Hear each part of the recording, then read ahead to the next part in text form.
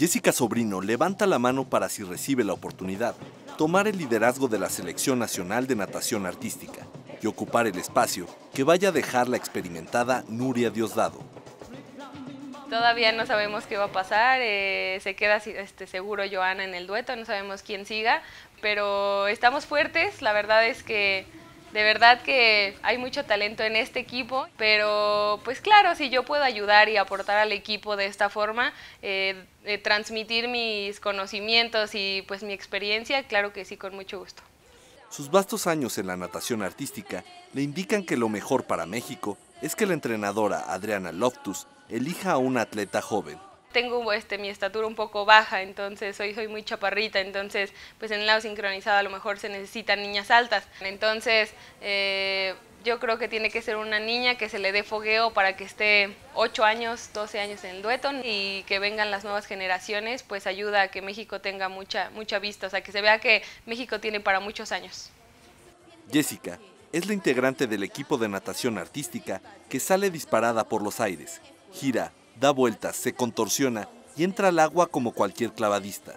Sin embargo, no está exenta de los accidentes. Tengo un tímpano roto desde hace seis años. Este, comentaba también que pues en el momento se me dijo eh, mi otorrino, la verdad, pues con una mente abierta, porque pues los doctores no me dejarían nadar con el tímpano roto. Me dijo, pues, ¿qué prefieres, seguir nadando o escuchar? Y por supuesto que decidí, decidí, seguir nadando y pues aquí estoy seis años después usando tapón de oído, pero pues es una decisión que no me arrepiento en lo más mínimo, he vivido cosas increíbles y pues bueno, ya habrá tiempo para operarme y para comprar aparatos auditivos.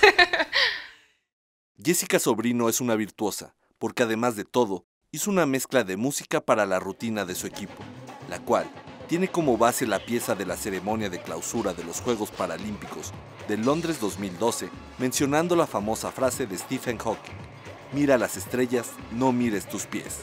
Dice, mira las estrellas, no mires tus pies. A nosotros nos, nos motiva mucho, la verdad es como pues nos da como la esperanza y las ganas de seguir soñando, es como piensa en grande, eh, muchas veces nosotros de verdad que no nos creemos toda la capacidad que tenemos hasta, por ejemplo, eh, los, juegos, los Juegos Panamericanos de hace cuatro años, nosotros de verdad que no íbamos por el segundo lugar, no creíamos que estuviéramos en segundo lugar y o sea, de verdad rompes eh, con, lo que tú tienes como estigmatizado de ti mismo, ¿no? Entonces, eh, pues lo vemos un poco así, de verdad, como sueña en grande y pues no mires a tus pies, ¿no? Eh, mira hacia arriba y pues como avanza. En los Juegos Panamericanos de Lima 2019, ella y su equipo regresaron a casa con una medalla de plata. Y ahora, el único camino abierto a Tokio 2020 es el preolímpico a desarrollarse dentro de siete meses. Bueno, en el equipo somos 10 niñas que estamos haciendo cosas maravillosas, somos mujeres eh, súper poderosas, eh, deportistas, empoderadas, que de verdad estamos haciendo cosas muy grandes, eh, intentamos de verdad darle a México pues todo lo que él nos ha dado, todo lo que México nos ha dado y a toda la gente de verdad que nos ha ayudado, muchísimas gracias. sigan por favor al Nado Sincronizado en México, difúndanlo y van a ver que vamos a hacer cosas muy grandes.